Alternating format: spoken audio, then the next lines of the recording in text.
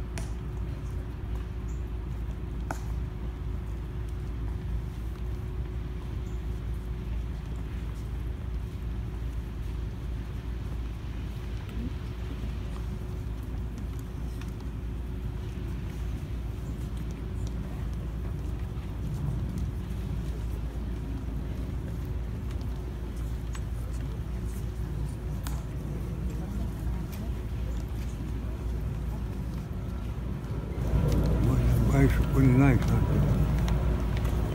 The guys from the service are pretty nice. It Makes me cry.